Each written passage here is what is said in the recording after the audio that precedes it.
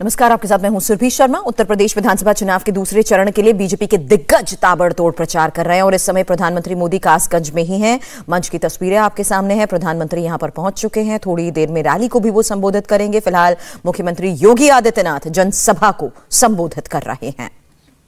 के बाद फिर यहाँ पर निर्दोष व्यापारी और नागरिकों की हत्याएँ करते थे।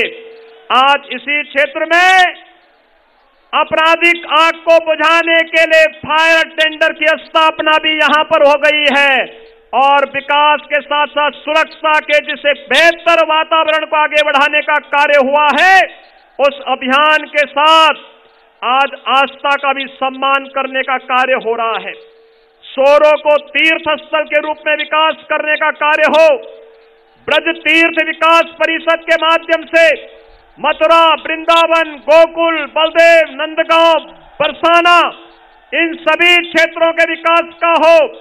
अयोध्या में दुनिया की सुंदरतम नगरी के रूप में स्थापित करने और अयोध्या को श्री राम जन्मभूमि, भगवान राम के भव्य मंदिर के निर्माण के कार्यक्रम को मजबूती के साथ आगे बढ़ाने का कार्य हो।